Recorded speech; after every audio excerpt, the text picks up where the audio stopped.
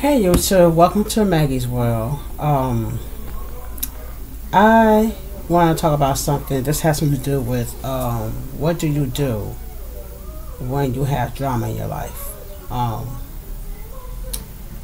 so, this is about a situation about the dramas that I've been going through for years, and um, I, I realized that I would have to keep going through the dramas of that I would have to be going through if I just learned to let things go. So that's what I did. That's what my daughter did. So we learned to let things go. Um, at this case and at this point, um, this particular person is so miserable, so conniving, so evil, so wicked, and I realized God's still working on me. And I realized that it's time for me to let it go. So I washed my hands of that person and left it in God's hands. Okay? Um I think by me doing that, I think I'm doing the right thing. Which I know I did the right thing. So to make a long story short, um yeah and basically make me feel good you know what i mean?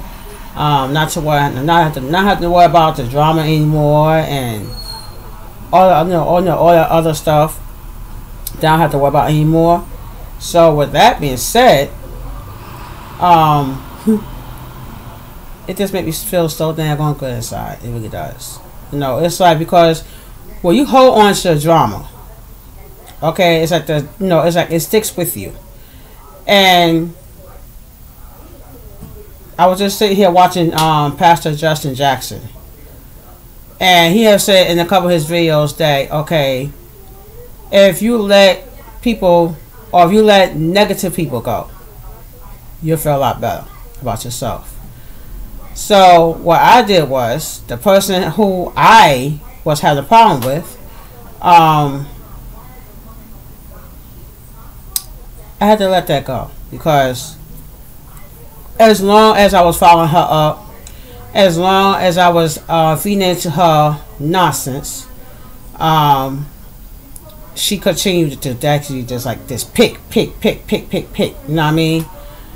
And then I had to, then I'll be on this on this site called Bigo, and she come on Bigo talking. Um, you know, like oh negativity stuff. You know what I mean? That's something I ain't got time for. Okay. Um, I am pushing. Mind you, I'm pushing fifty. So I'll be fifty in what two years from now. So why in the heck would I want actually want to basically follow somebody like like her up? You know what I mean? So on that note, I did was last week Tuesday, and she came on my live on Bigo talking about um stop talking about me and, let me see my sister and this, that, the third, so and so and so, or let me talk to my sister, this, that, so and so and so and so. Mind you, they're half sisters. Thank you very much. Um, and I said, first of all, this is my life. If I want to talk, if I want to talk about you on my life, I'm going to talk about you on my life. Period. It's not damn one thing you can do about it. If I want to talk about you, I'm going to talk about you. But at this point, I ain't got time to deal with your negativity stuff. I don't have time. You know what I mean? So she wanted to actually keep the drama going, and I am not feeding into her. Okay, well, I can't say on video. I'm not going to feed into her mess. I'm not going to do that because as long as I'm feeding into her nonsense, she's going to continue and continue and continue with the harassment. I ain't got time for it. I'm done with the situation. Okay? She wanted to keep drama going. Me, I ain't got time. Okay? My best thing was to walk away from the situation. If that makes sense. And I'm not gonna sit him out here and, you know, basically kiss her behind. Okay, that I'm not to do.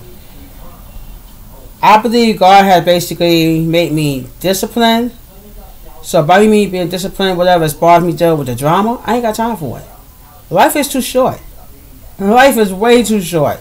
And why the heck on earth I want to deal with somebody? Um, what the call? What's that? What's that? What's that word for it?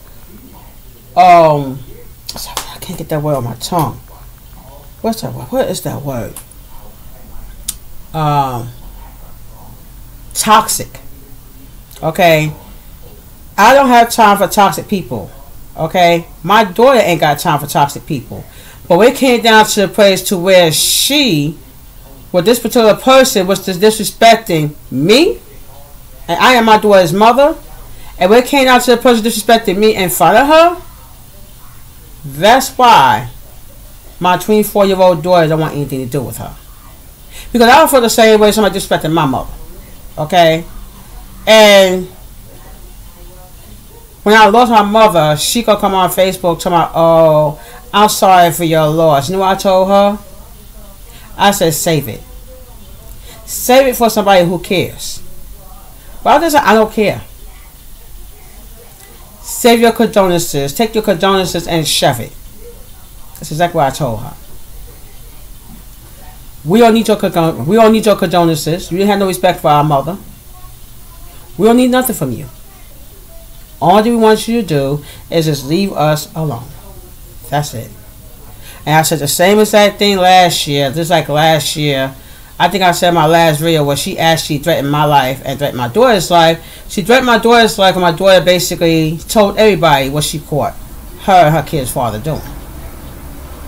So she comes on there talking about, oh, uh, talking, oh, y'all both casket sharp. Just what the heck she said. So, when it comes to situations like that, people, and you get into situations like that, whatever, it's best to let it go. Okay, don't even feed into it. Okay, because the more you feed into it, the more they're going to continue to being a jackrabbit that they are. Okay, so to make a long story short, my day is going well. I can't complain. Um, I just want to come on here to share that with you guys and as for my new camera that I got a month ago, um, have my other camera over here, which is um, this one. I have this camera here that I think I had got about a year ago or two years ago. I think it was. I had got this one to replace the other one that um, that had got broken. So I use this one too. So I don't use my phone no more to do my video. So what I do is that I take my cameras and I hook it up to my uh, my PC turn into a um, webcam, which is like webcam right now. So I don't use my phone for no more because I noticed that when you do videos on your phone, it takes up a lot of space. You know what I mean? And it's like you can't do your videos as long as you want to do it. So I figure, well, maybe I'll give you some. Maybe I'll give you one of those uh, cameras. Which they do call these cameras YouTube cameras. Cameras. Um, yeah. So I take one of my cameras and basically go on here and do videos. And I could actually do videos as long as I want. I could talk as long as I want. Um, things like that, you know. Um, I hear a lot of people say they want to see, uh, they want to see me do another mukbang, but they also want to see me do mukbangs with my daughter. So that could be possible. That could definitely be possible to do. Um, yeah. So with a long story short, um, yeah, me and my daughter have a very, very, very good relationship. You know, we have a very good mother and daughter relationship. And it's like we act more as sisters instead of mother and daughter. You know what I mean? That's how me and my mother was, you know? And um, when it comes to people disrespecting your family, come on. That should be personal. I don't care what it I mean I don't care what it is. But anytime somebody comes in your life and they decide to disrespect your family, that's where you should draw the line. That's exactly where you should draw the line, right there. Because as long as you continue allowing people to disrespect your family, and most of all, your mother or father, that is a straight up no no. So if people want to know why I basically don't like this person so much, Look at all the things she's done in the past.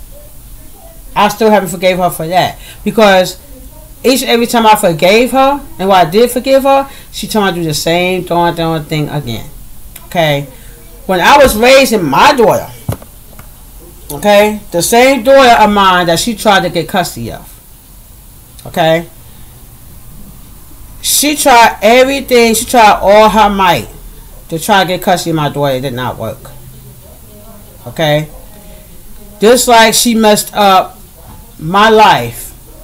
That's probably with my no. That's okay. That's probably with uh, my daughter's father and supposedly her father too.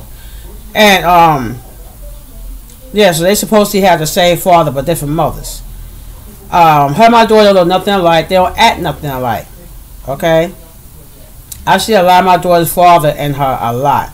I see a lot of my daughter's father and her. And, uh, and actually, my actually, and my daughter. Uh, my daughter's half sister don't look nothing like him. She don't act nothing like him at all. Um, I do know that uh, this individual is an alcoholic. Okay. Uh, she just she gets a drink every chance she get, and then when she drinks or whatever, she gets stupid. So, with that being said, okay, for a person like that, and for her, and for, and for a person to be so mean and so conniving and so wicked, I don't want to be around nobody like that. I would not want my daughter around nobody like that. You know what I mean? She is so, so evil. And it's sad. You know what I mean? She don't have none of my daughter's father's ways. None of it. Uh, her father's, I mean, her, um, her mother's family don't want anything to do with her either. And now I see why. I see why her mother's family don't want anything to do with her. I have heard, I have, uh, I have heard her mother say that if she goes to a get together at the family house, whatever, they will tell her not to bring her daughter because she's so disrespectful. She's been like that all her life. She's been like that ever since she was a teenager. Now, why don't I forgive her? I'm gonna tell you the reason why I'm not gonna forgive her. She done a lot of things I'm not happy about. Okay? She brainwashed my daughter when my daughter was 17. I had to send my daughter away. I had to literally send my daughter away to keep from hurting her. Okay? Then she tried to brainwash my daughter again on Bigo because she gonna tell my daughter last year that I killed their father, which is untrue. Okay? So this is because I said this is because I came out on Bigo and said I didn't like her. This is because I came out and said I didn't like her. Oh, all of a sudden, oh, by the way, you killed my father. This is how she brought it to me. And she had everybody else jump down my throat. She had basically called herself trying to turn my supporters against me. Now, y'all tell me how messy that is. And y'all wonder why I cannot forgive this person? Come on. Come on, people. I can't forgive somebody that does dirt to me and everybody else. I cannot do that. I can't. I can, but I will not. My best bet is to stay away from her. Um, keep my daughter away from her. Even though my daughter is grown, but yeah, my, like at the same time, my daughter has a disability too. But even though it's best for both of us to stay away from people like that. Because, as Pastor Justin would say, leave it alone. Let go, let God, let God handle it. Let God handle handle her wicked uh, stuff because I don't have time. I have bigger, better things to do besides dealing with that. Okay. So that's why I came on here did the video for about that, whatever. So this topic was supposed to be for um this topic was supposed to be about uh what you do. You have somebody on your child side of the family who are so wicked. That is the title. Okay. Uh so wicked and so evil. You know what I mean? So that's a topic. That's a, that was a topic for this video today. Um. So yeah, it's really sad how things have to go down. It's really sad how you know this world be so so full of evil people. So full of evil people. It is sad. None of us cannot get along because because of the wickedness. Um, because of a lot of evil in this world. So it's sad. It's really, really sad. But when New Year's came in, when 2023 uh, came in, I promised myself that I was gonna cut my daughter's my daughter's half sister out of my life in my daughter's life for good. Well, I can't cut out my daughter's life. See, my daughter chose to cut her out her life, so I don't have mean that I have no control of that. But I did choose to cut this fool out my life for good. That means not talking to her, not communicating with her, not doing nothing with her at all. Not having anything to do with her, period. Then she comes on Bigo talking about, oh, that's my mother on camera.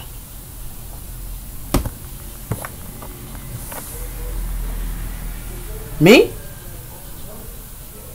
My supporters on Bigo say, yeah. I said, no, I'm not her mother.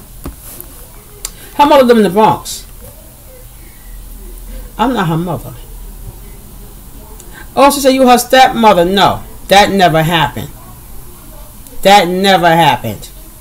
I was engaged to her father. But the engagement was off because I found out he cheated on me. I cut off the engagement.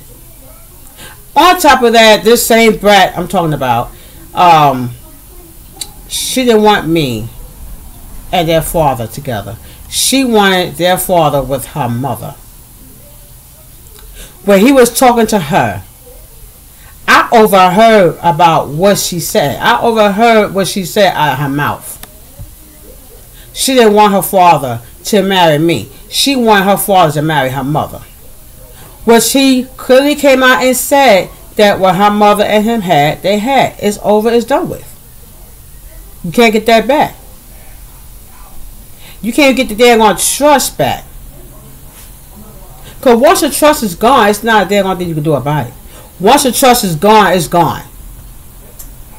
There's no coming back from that. The trust I once had for her is gone. It's been gone since my daughter was a child. She called ACS on me three times. She ruined my life and ruined my chance of being a good mother because she has an attitude with me. So she feels the only way she can hurt me is getting children's services involved by trying to have my daughter taken from me three times. Then you go call my. Then she calls my mother. They'll tell my mother my sister, "Oh, I'm gonna call to the services on um, your sister, your daughter, because uh, she don't need my sister."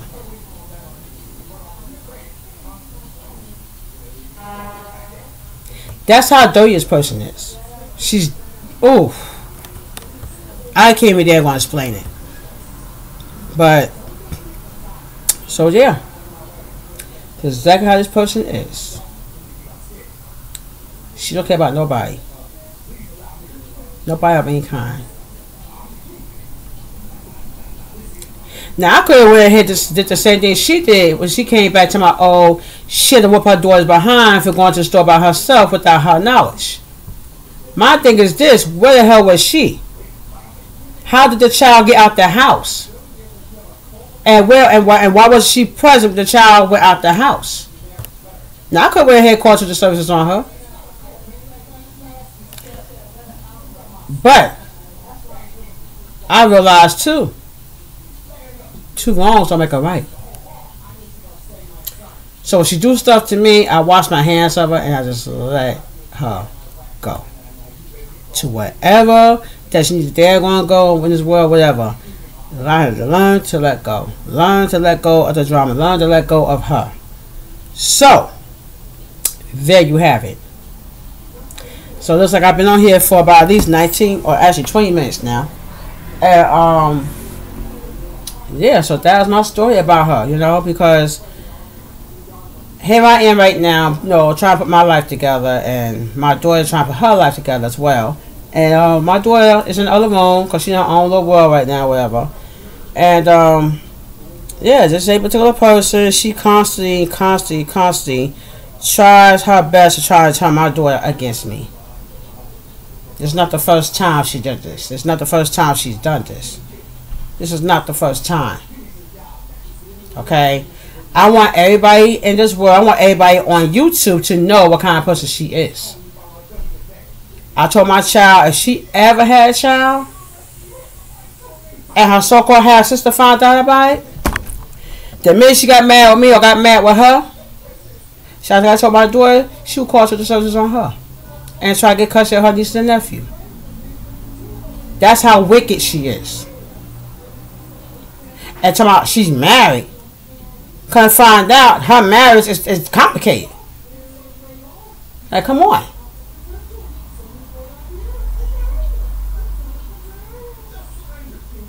So at this point, me and my daughter, we sat down, we had a nice heart to heart talk. And my daughter made a decision that she really didn't want to make. And if the decision was, she came back, she said, Mommy, I don't want anything. To, she said, I don't want anything to do with Jacqueline or the rest of that family. I said, You sure that's what you want? She said, Yes, mommy. I'm very sure I want. That's that's exactly what I want. I want nothing to do with that family. Because she said, like, because she said, because for them to just, you know, for them to constantly to disrespect you. She said, I don't want anything to do with them. For what? She said, Why would I want anything to do with either one of them? They had no respect for you. They had no respect for me. They had no respect for my family. On your side, She said, Mommy, I want nothing to do with them. Nothing. Nada. Period. So, wow, I'm on here two two minutes. so, um, yeah, I'm gonna off this thing now. Um, if you like this video, if you like the stories, um, that I've been putting out. Um, please like, comment, share, and subscribe. And um, I'll see you on the next one. All right. Peace.